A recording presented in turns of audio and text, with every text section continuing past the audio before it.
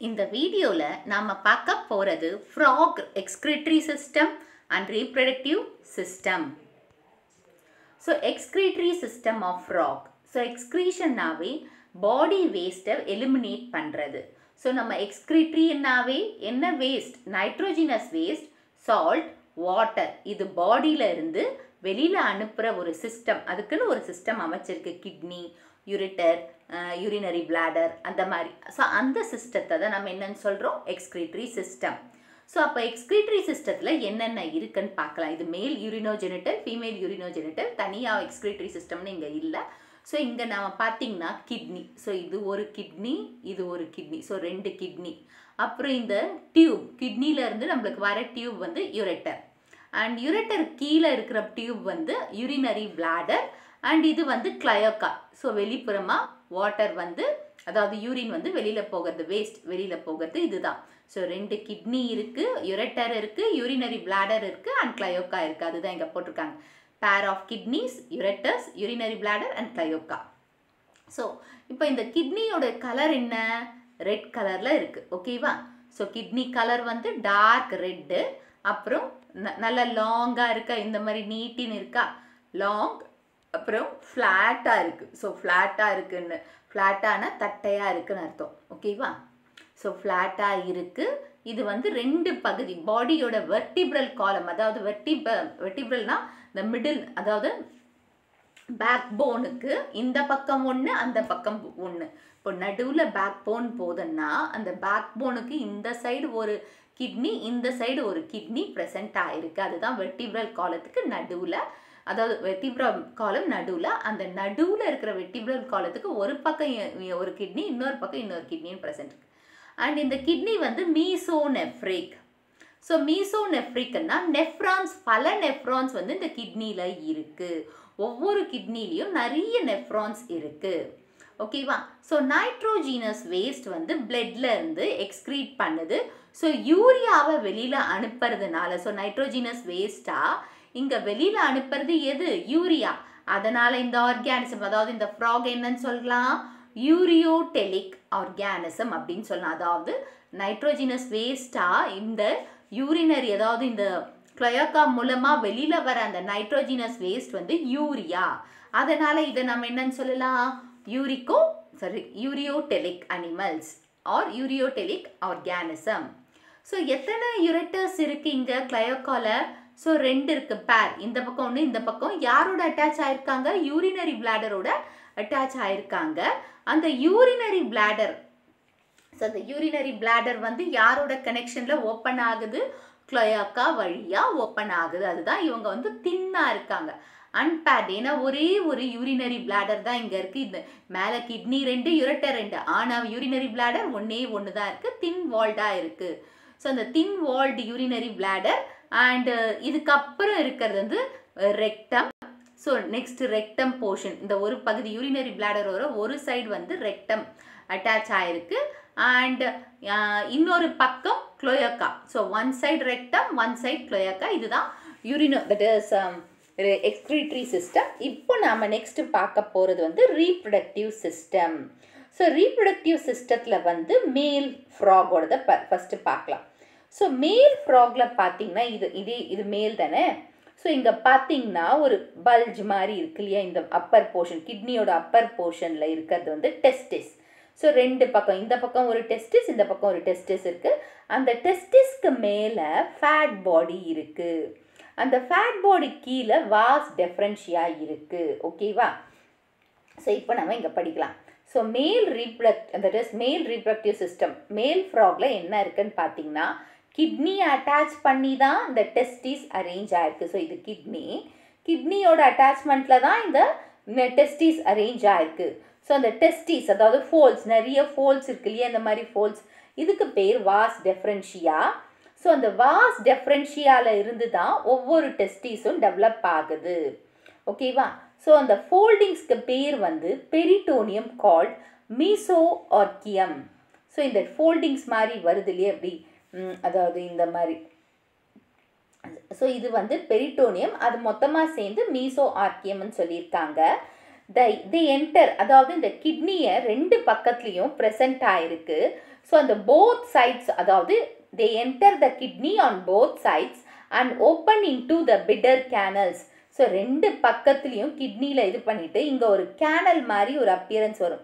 So ரெண்டுமே கிட்னிக்குள்ளே open ஆகிற மாதிரி ஒரு கேனல் மாதிரி ஒரு அப்பியரன்ஸை கொடுக்குது. அதுக்கு பேர் வந்து Bidder's canal and finally it communicates with the urinogenital duct that கா that comes from comes out of kidney and opens into the cloaca so இப்போ இந்த அந்த பிட்டர் கேனல் இருக்கு இல்லையா? அந்த பிட்டர் கேனல் வந்து யூரினோ ஜெனட்டல் யூரினோன்னா யூரின்க்கும் ஜெனட்டலுக்கும் ஒரே பைப் ஸோ அதோட கிட்னிலேருந்து கனெக்ஷன் ஆகிட்டு நார்மல் கிளோயாக்கல் அப்பச்சர் வழியாக கனெக்ஷனில் இருக்குது இந்த யூரினர் யூரினோ ஜெனட்டல் இதுதான் மேல் ரீப்ரக்டிவ் சிஸ்டம் ஸோ கிளயோக்கா வழியாக ஸோ யூரினோ கிட்னியோட கனெக்ட் ஆகி க கிளயோக்கா வழியாக வெளியில் வரும் இந்த ஸ்பெர்ம்ஸ் எதுவாக இருந்தாலும். ஸோ நெக்ஸ்ட் வந்து female reproductive organ of frog so இதுலேயும் பார்த்தீங்கன்னா இது வந்து oviduct that is oviduct funnel oviduct and இங்கேயும் பார்த்தீங்கன்னா அட்ரினல் பாடி இருக்குது அட்ரினல் பாடியோட தான் கிட்னியும் அட்டாச் ஆகிருக்கு யுரட்டர்ஸ் இருக்குது அண்ட் ஓவி சாக் ஓவி சாக்குன்னா ஓவ ஓம ஓவம்மை ஸ்டோர் பண்ணியிருக்கிற இடம் இருக்குது யூரினரி பிளாடர் கிளயோக்கா இருக்குது இந்த பக்கம் ஓப்பனிங் ஆஃப் யுரட்டரும் தே போட்டிருக்காங்க. அண்ட் ஓவிடக்டல் ஓப்பனிங் இருக்குது ரெக்டம் இருக்குது ஓவரிஸ் அந்த ovaries and the fat body is also seen here so female reproductive சிஸ்டத்தில் வந்து பேர் ஆஃப் ஓவரிஸ் இருக்குது ஸோ இந்த பக்கமும் இந்த சைட் போடல இந்த சைடும் இருக்குது பேர் ஆஃப் ஓவரிஸ் ரெண்டு பக்கமே இருக்குது and attach to the kidney and the dorsal body of the folds peritoneum mesovary அதாவது அட்டாச்சோட கிட்னியோட அப்பர் சைடில் அட்டாச் ஆயிருக்கு. அப்புறம் இவங்க வந்து மீசோ ஓவரியம் அங்கே மீசோ ஆர்கியம் இல்லையா? மேலில் இங்கே மீசோ ஓவரியம் சொல்கிறாங்க அந்த அட்டாச்மெண்ட்டுக்கு பேர். There is a pair of coiled oviducts lying on the sides of the kidney so இது வந்து ரெண்டு பக்கமே ஓவிடக்ஸ் இருக்குது கிட்னிக்கு பக்கத்தில் வந்து அட்டாச் ப்ரெசண்ட் ஆயிருக்கு. So each oviduct open into the body cavity to at the anterior end of the funnel funnel like opening called oistia. So இந்த ஓவிடக்ட் எல்லாம் ஓப்பன் ஆகுது இல்லையா? இந்த ஓப்பனிங்கு ஸோ இந்த ஓப்பனிங்க்கு பேர் வந்து ஆயிஸ்டியார் அந்த ஓவிடக்டில் ஓப்பன் ஆகிறதுக்கு பேர் ஆயிஸ்டியா so unlike the male frog the female frog has separate genital ducts distinct with ureters இப்போ மேலில் வந்து பார்த்திங்கன்னா ஒரே காமன் இதுதான். ஓகேவா? ஆனால் இதுக்கு வந்து டிஃப்ரெண்ட் இருக்குது அதாவது தனியாக இருக்குது இதோட ஓப்பனிங் தனியாக இருக்குது இங்கே பாருங்கள் தனியாக ஓவிடக்டல் ஓப்பனிங் கொடுத்துருக்காங்க. ஸோ தனியாக இருக்குது and posteriorly the oviduct dilated to form ovisacs before the ova that is before the open into the cloaca so இந்த பின்பக்கம் வருது இல்லையா?